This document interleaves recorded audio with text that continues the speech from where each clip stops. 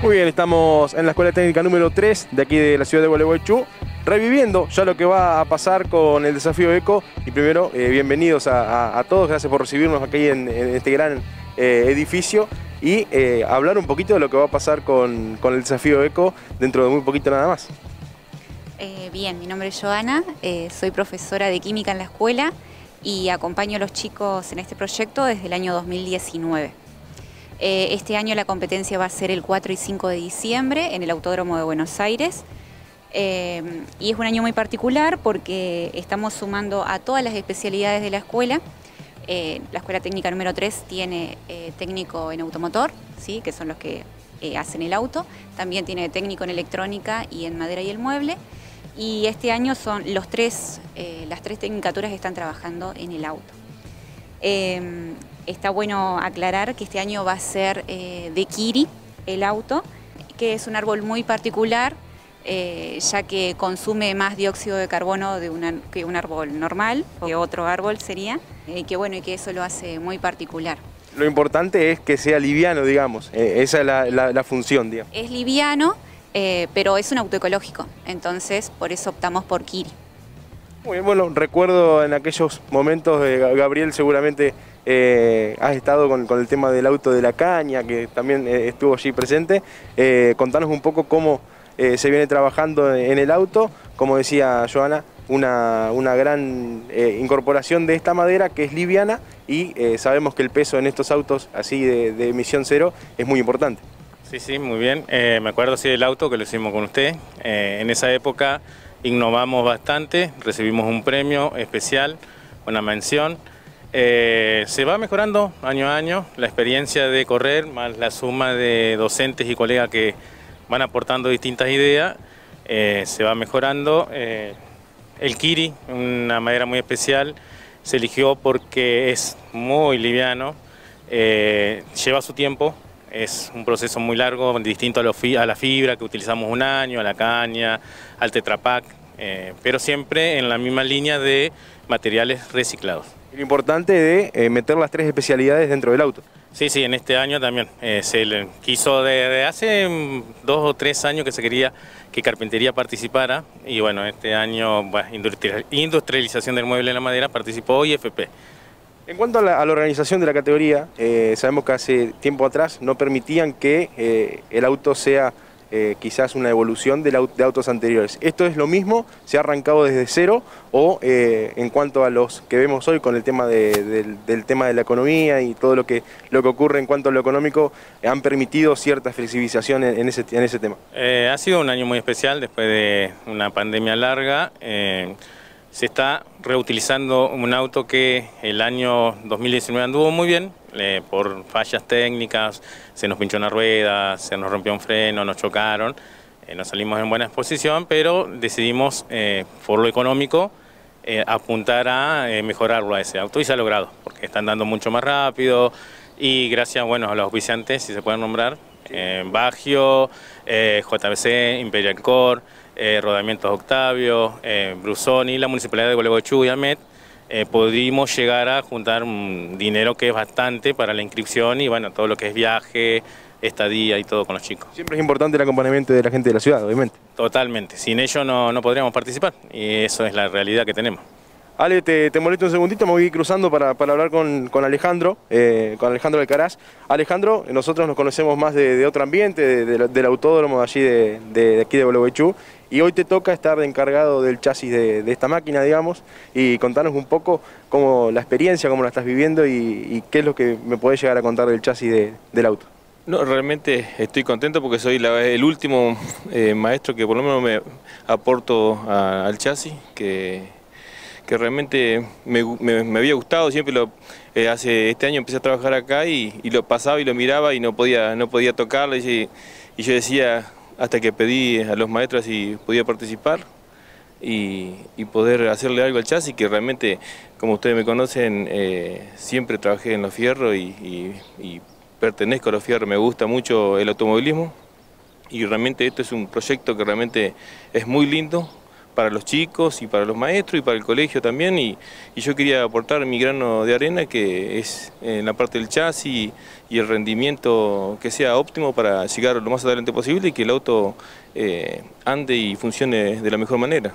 ¿Pudiste volcar algo de la experiencia de, tantos años de automovilismo eh, grande en, este, en este desafío eco que es, eh, si se quiere, algo que tiene que ser muy muy finito porque es un auto de muy baja potencia, de muy pocos kilos para que tenga que ser todo redondito y, sacarle el mayor provecho, ¿no? Sí, sí, realmente trabajé mucho en el tren delantero, eh, en el tren trasero se modificaron algunas cosas, pero mucho trabajó en el tren delantero y bueno, y que, por lo menos eh, ruede lo más, lo más livianito posible, eh, eso me interesó mucho y, eso lo, hemos logrado, ya hemos probado, anda muy bien, por lo menos hasta lo que yo eh, he estado escuchando de los chicos, eh, de, las otras, eh, de las otras carreras anteriores, y bueno, pienso que está, está muy bien, que es lo que me interesa a mí. Bueno, contanos un poco el balance de, esas pruebas, en qué se ha estado trabajando y cuál es el, resultado final de, cada día de prueba. probamos en, en, el autódromo el viernes pasado, giró muy bien el auto, Realmente, como era la primera vez que yo iba a mirar, así que pregunté a los chicos anteriores que estaban corriendo y la velocidad y el tiempo fueron muy buenos, que es lo que me interesaba a mí, eh, era el funcionamiento del auto. Que estaba girando en 48 kilómetros, 49, eh, era una muy buena velocidad y el tiempo también, porque ya ellos habían probado y habían girado en 6 segundos y nosotros giramos en 4.21, así que me gustó mucho. Bueno, si te parece, Ale, vamos a, ir hablando con algunos de los chicos y si querés eh, ir eh, bueno, aprovechando, eh, vamos a, parar por aquí, a ver si nos pueden decir el nombre, de qué, función cumplen dentro del equipo y, cómo están viviendo la experiencia de este desafío. Mm, mi nombre es Emanuel Silva y yo soy uno de los mecánicos. Somos tres mecánicos y yo soy uno. Y nada, mi función es que hacer que todo esté en orden, que todo esté bien ajustado y que mis compañeros también estén haciendo las cosas que tienen que hacer. Bueno, ¿cómo se viene trabajando en el auto? Eh, está en pleno proceso y ya queda ahí nomás para, para, la primera fecha. Una semana nos falta y, ahora nos falta la carrocería y lo mecánico está todo, está casi todo hecho ya. ¿Conforme con, con, las pruebas en el autódromo? Sí, sí, sí, muy conforme porque nosotros también es nuestra primera vez que lo hacemos, lo íbamos a hacer en quinto, pero por pandemia no se pudo. Y muy bien, los gurises nos dijeron que andaban más rápido que el de ellos y todo, así que muy bien. ¿Se, se trazan algún tipo de objetivos eh, para, para, este, para este desafío o solamente con el hecho de ir a participar ya es un gran avance? Nosotros dijimos que dentro de los 10 tenemos que estar. Muy bien. Dentro de los 10, dentro de los 5 tenemos que estar. Eso va a ser lo que vamos a buscar, igual. Muy bien, así, a ver, vamos a, vamos a ir hablando con ella, que eh, ella es la piloto de, este, esta máquina eh, y de una escuela eh, que es de, afuera, del Colegio Nacional, ¿es así? Sí, sí. bueno, mi nombre es Brisa Rojas y me dijeron si quería hacer esto y le dije que sí, de una. Bueno, tenés experiencia en karting, eso es importante y suma y me imagino que acorta un poco los caminos con respecto a este auto. Sí, sí mucho. ¿Cómo te llevas con los chicos? No los conozco, pero bueno. O sea, sí, no sé, bien. No, no, no hablo igual. A vivir, a vivir la experiencia, obviamente, de, entrar en el desafío ECO y eh, de acompañar a los, a los muchachos y a las chicas que, están formando parte del proyecto. Sí, sí. Muy bien. Seguimos con, con alguno de los chicos que quiera acompañarnos a hablar, a ver. Eh, bueno, con un, viejo conocido. eh, contanos un poco la, experiencia y, cómo estás viviendo el desafío. Bueno, la verdad, eh, muy buena experiencia porque es algo que puedes compartir con tus compañeros, eh, algo que te saca del aula, que está bueno. Eh, aprendes muchas cosas y con los profesores también, eh, cosas de la competición que capaz no sabía, esto no tiene mucho que ver con un motor a combustión, pero en lo que sea la alineación, el chasis, todo eso tiene que ver. Y gracias a Alcaraz y otros profesores más eh, nos pueden ayudar y aprender en eso. yo soy uno de los mecánicos también y bueno, vamos a estar viendo a ver cómo, cómo salimos.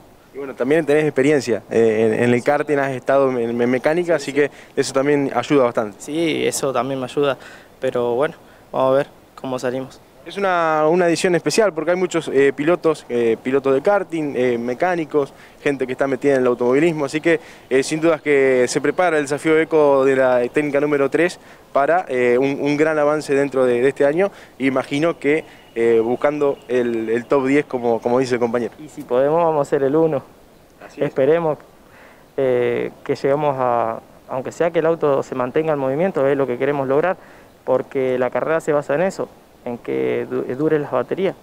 Bueno, y ya que tocaste el tema de baterías, contanos un poco qué duración tiene más o menos después de las pruebas que, realizar. Eh, y la verdad muy buena duración. Estuvimos, primero como dijo Alcará, hicimos muy buen tiempo eh, porque bajamos dos segundos, eh, digo dos minutos, perdón. Eh, y la batería más o menos nosotros queremos que dure entre una hora y una hora y media. Y ayer estuvimos haciendo unas pruebas de mantener el vehículo girando una hora y pico y se mantuvo. Eh, con, las, con las baterías bien cargadas y todo eso. La verdad, muy contento con el resultado. Un gran avance entonces. Un gran avance. Bueno, vamos a ir presentando a los chicos, si te parece, Ale. vamos a, empezar por aquí, que nos digan nombre y, qué, función cumplen dentro del proyecto. Bueno, buenas tardes, yo soy Nahuel, y soy parte sea, del grupo. Eh, no estuve mucho trabajando en el auto, pero estuve en la sesión de ruedas, armando y em, centrando ruedas. Muy bien, seguimos por aquí. Buenas tardes, mi nombre es Gorro Salvador y soy asistente también de mecánicos y estuve junto con Nahuel en lo que fue el centrado de ruedas y estuvimos más basado en el tema de ruedas. Muy bien. Buenas tardes, eh, mi nombre es Luciano Benetti y estuve de asistente de mecánicos, ayudé con el tema del chasis y, bueno, nada, con el centrado de la rueda también. Oh, te, preguntamos de vuelta. Bueno, eh, mi nombre es Agustín Fariña, eh, yo estuve con la ayuda del chasis, de la aerodinámica, con la parte electrónica y bueno, también con el tema de la centrada del vehículo y esas cosas. Hola, buenas tardes. Mi nombre es Diego Rodríguez. Eh, no tuve en algo específico, pero de lo que iba saliendo lo iba ayudando. Muy bien. Hola, mi nombre es Valentina González y estuve en el diseño del auto y pintura. Hola, mi nombre es Elian Rodríguez. Estuve en el tema de chasis, modificación y en el tema de alineación y diseño junto con ella. Buenas tardes, mi nombre es González Nahuel. Eh, yo soy jefe mecánico. Eh, mecánico acá, yo superviso más o menos lo que es el trabajo y estoy también ayudando con todo lo que es el tema de la rueda, el chasis, las baterías, las cargas de las baterías, eh, más o menos encargado un poco de todo. Te toca una tarea difícil, estar a cargo de, todos los muchachos. Sí, bastante completa, eh, por suerte, pero bueno. Eh, yo soy Emanuel Silva y soy mecánico, igual que Nahuel, y también estoy haciendo el chasis, modificando, ayudando, alcaraz, con las baterías también, el motor, los movimientos del auto y todo eso. buenas tardes, soy Brian Tarragona. Yo estaba con los chicos, con las partes de la rueda también, de centrar los rayos y eso.